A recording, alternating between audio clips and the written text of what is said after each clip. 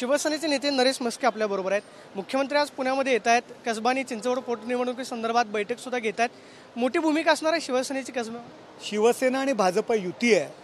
त्यामुळे विविध समाजाच्या बैठका मुख्यमंत्र्यांनी लावलेल्या आहेत आणि त्या त्याच्यासाठी मुख्यमंत्री येत आहेत. आमची युती आहे आणि युती आमची एकसंघ आहे. त्यामुळे त्या प्रचाराकरता आज मुख्यमंत्री पुण्यामध्ये येत आहेत. उद्धव उद्धव ठाकरेंची काही वेळापूर्वी पत्रकार परिषद झाली. उद्धव ठाकरे असं म्हणतायत की शिवसेना पक्षप्रमुख बाळासाहेब ठाकरे ज्यावेळेस गेलेले होते जसा प्रसंग उभा राहिलेला होता तसा प्रसंग आज माझ्यासमोर उभा राहिलेला आहे. तुमची साथ हवी असं जिल्हा प्रमुखांना त्यांनी. हे बघा उद्धव ठाकरे साहेब केवळ आता भावनेचं राजकारण खेळणार आहेत. सहानुभूती लोकांची मिळवण्याचा प्रयत्न करणार आता त्यांच्या पायाखालची वाळू सरकलेली आहे. त्यांच्या चुकीमुळे संजय राऊतांचं ऐकल्यामुळे काँग्रेस राष्ट्रवादीच्या वळचणीला शिवसेना नेऊन ठेवली म्हणून ही परिस्थिती निर्माण झालेली आहे. उद्धव ठाकरे असं म्हणतायत की शिवसेनेचा जन्म हा भाजपचे तळवे चाटण्यासाठी झालेला आहे. बघा आता उद्धव ठाकरे साहेब काय म्हणतायत?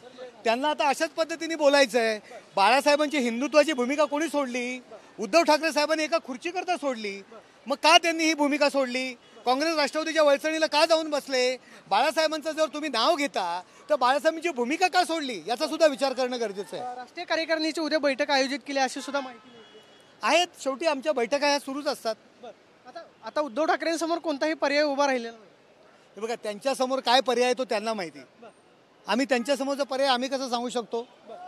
आ- ते असं म्हणतायत की निवडणूक आयोगाचा निर्णय जो आहे तो चुकीचा आहे. निवडणूक आयोगच बरखास्त करा. हे बघा निवडणूक आयोग ही घटनात्मक संघटना आहे. घटनात्मक असोसिएशन आहे. त्याला सुप्रीम कोर्टाने पॉवर दिलेले आहेत. भारतीय राज्यघटनेने त्यांना पॉवर दिलेले आहेत. आता ते जर त्यांच्या बाजूने निर्णय नाही झाला म्हणून त्यांच्यावर टीका करणार जेव्हा दसरा मेळाव्याच्या संदर्भात हायकोर्टाने जेव्हा त्यांच्या बाजूने निर्णय दिला तेव्हा म्हणाले या हिंदुस्थानामध्ये न्यायदेवता जिवंत आहे बाजूनी निर्णय झाला तर न्यायदेवता जिवंत आहे. आणि बाजूनी निर्णय नाही झाला तर न्यायदेवतेच्या विरोधात बोल.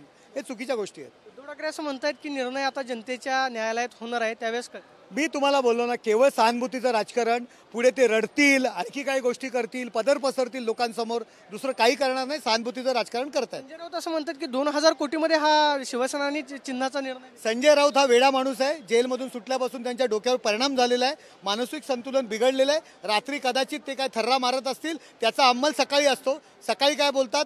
ते दुपारी वेगळं बोलतात संध्याकाळी वेगळं बोलतात. त्यामुळे त्याच्यावर प्रतिक्रिया देणं मला योग्य वाटत नाही. पाहतोय की निवडणूक आयोगाचा निर्णय जर ठाकरेंच्या बाजूने लागला असता तर कदाचित ते वेगळं बोलले असते अशी प्रतिक्रिया जी आहे नरेश मस्केंनी दिल्याचं आपल्याला पाहायला मिळतं camera person Abhijit पिसेसोनी Pradeep Kapse T V nine Marathi Pune.